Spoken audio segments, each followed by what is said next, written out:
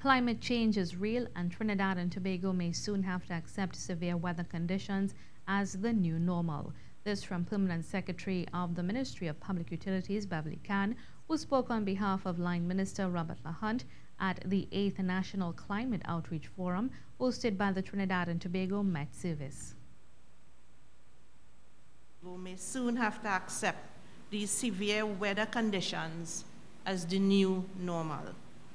But to be forewarned is to be forearmed. The events of mid October have shown us that it simply cannot be business as usual in Trinidad and Tobago. If we ignore challenge, if we ignore climate change, we, it would lead to our demise as a country. She said the forum fosters communication with relevant stakeholders and the general public. Most of us overlook the role of climate change and that what climate change played in what happened on October 19 and 20th.